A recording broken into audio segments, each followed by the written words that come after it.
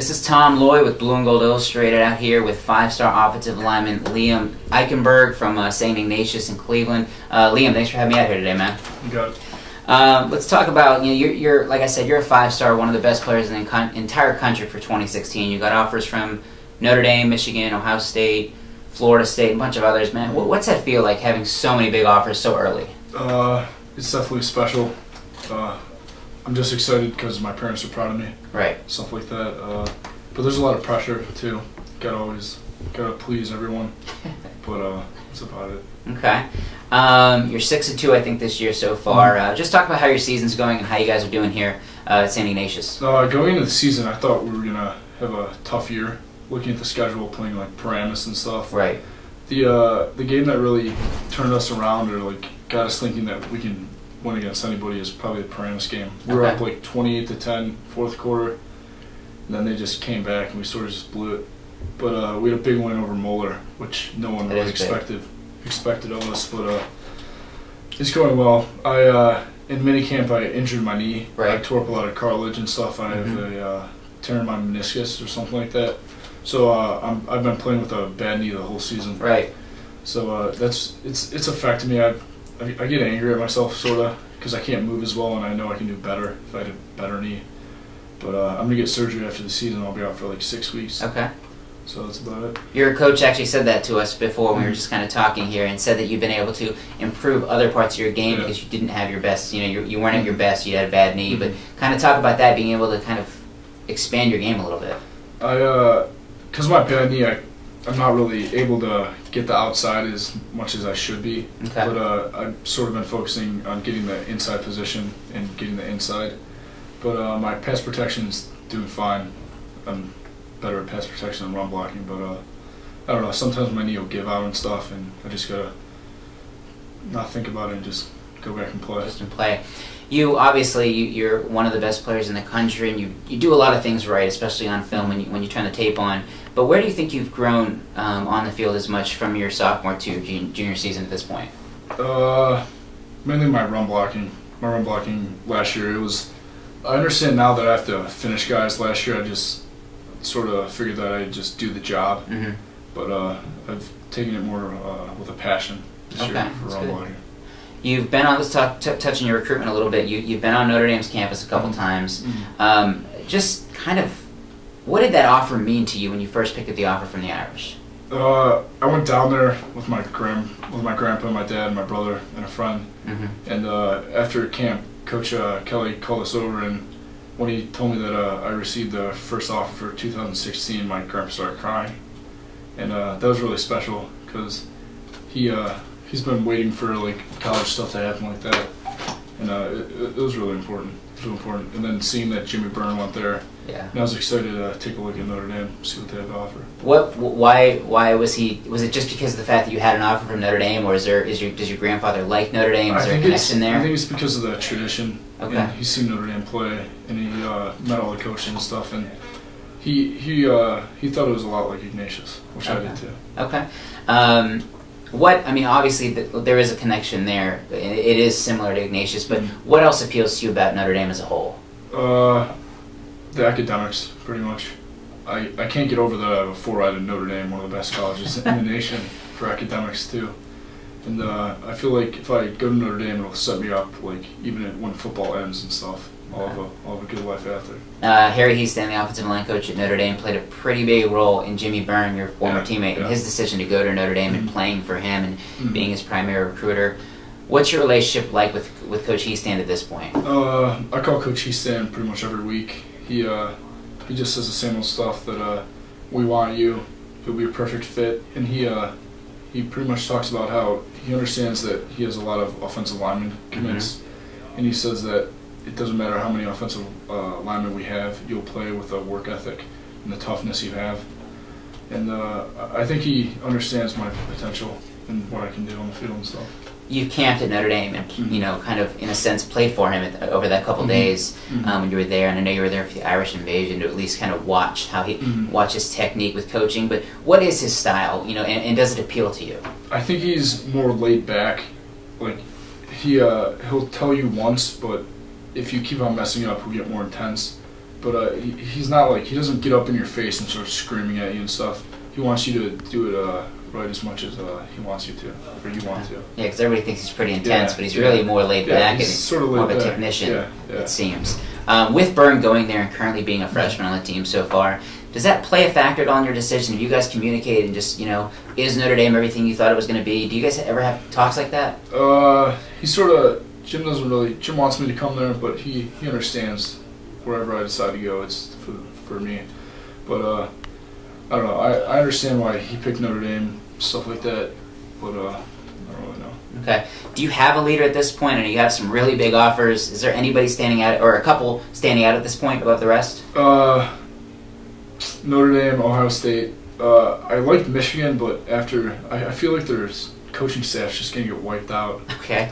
So Yeah. uh, I, I really haven't been uh, thinking of them. But I, I love to take a look at Michigan State. They've been uh, talking to me and uh, emailing me stuff like that. You, you told me a while back that that you were very upfront about it. That Mhm. staying somewhat local is important Yeah, to you. Is that yeah. still the case? Yeah, because uh, my grandpa he can't fly Oh, okay. because of uh, he has uh, blood clots in his legs and stuff like that, and he can't sit for a long time. So I'm definitely gonna stay close or somewhat close. Okay, I'm sure you saw uh, Notre Dame picked up its first 2016 commitment from Tommy Yeah, Kraemer, a guy Kraemer. you've gotten to know a little bit. Yeah. Um, just he said, you know, when I when I spoke to him, um, you know, about his commitment, he said, "I'm gonna, I'm, my my two guys are Malik Henry, uh, the 2016 five-star Yeah, quarterback yeah. from out west, and then Liam Eichenberg." Um, so have you guys communicated much since he jumped on board? Uh, right after he committed, he's he uh, he DM'd me on Twitter. I don't, I don't have his phone number because Okay. it's just like Twitter and stuff. But uh, we talk a lot, and he told me that like he stands the best. He's the best at what he does, best in college, and he really wants me to uh, be part of the part of the Irish.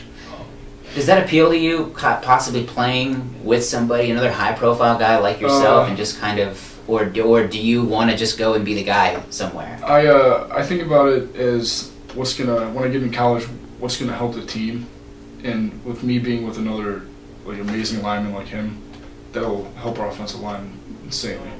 Okay.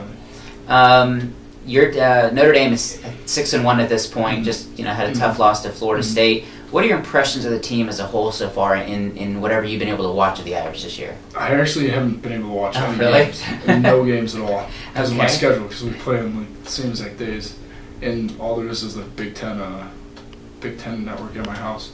Okay, So uh, I haven't really been able to see them play, but I uh, heard the Florida State game was a really good game. it's pretty Wish I could have seen it. definitely pretty wild. You're busy playing your own game.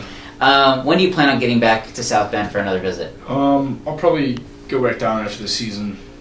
After that, I, I can't make any games. Right. I looked at all the schedules. I really want to make a game, but uh, I can't make it. When you've been up there and you get a chance to sit down and talk to you know Brian Mhm. Kelly, the head coach up there, Mhm. what's his pitch to you? And is it any different from any of the other head coaches out there? Is it Uh, when I went up to Notre Dame, I sat down. I didn't really talk to Coach Kelly for that long. I talked to him for like five minutes, and uh, he pretty much told me about like how my life will be after football, stuff like that. He didn't really sell me on like NFL like Michigan did. Mhm. Ohio State sold me on their like trying to sell me on their connections and stuff that Urban Meyer has, and uh, he just he's trying to sell me on like how my life will be after football. Okay.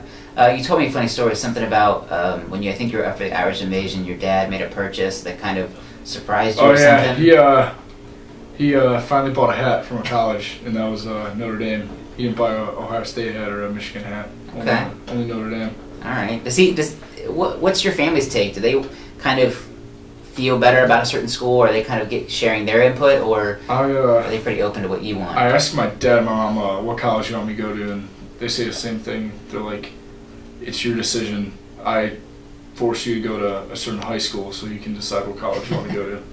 Fair enough. Um, you mentioned Ohio State as another school that's in the mix. Um, uh, similar to what I asked you about BK, but what's Urban Meyer's pitch, and, and, and what's your relationship like with that whole staff up in Columbus? Um, up in Columbus, I haven't really, I haven't really gone down for a, like a visit or unofficial visit. I haven't seen the campus or anything. Okay. I've just been down there at camp and stuff like that. But uh, I think Urban Meyer's a good guy. I like uh, uh, Stan Drayton, the running Yeah. back coach. Mhm. He's a he's a good guy too. He's Pretty popular. Yeah, he is. He is.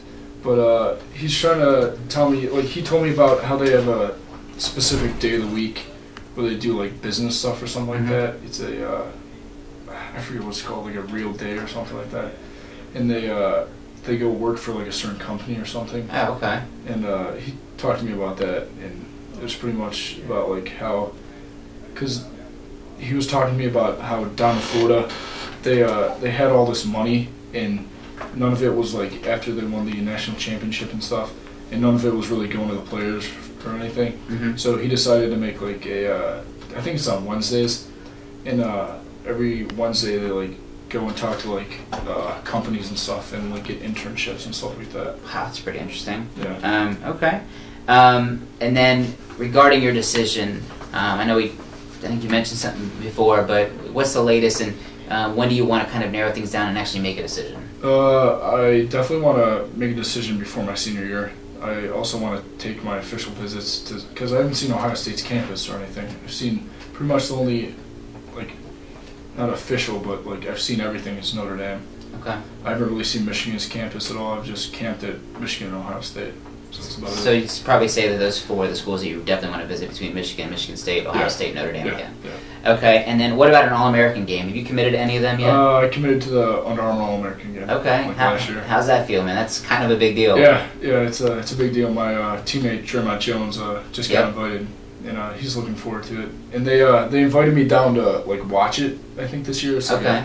Elite 50 invite or something, and they pay for everything. But there's a camp like during that for my grade, but uh, I'll obviously have knee surgery, so I don't think I'll be able to make it. And kind of just watch it a little bit. Yeah. All right, for uh, five-star O-line Liam Eichenberg, I'm Tom Loy. Stay tuned to BlueandGold.com for all the latest in Notre Dame football recruiting coverage. And again, Liam, thanks, man. Appreciate you Yeah. having me out. Yeah.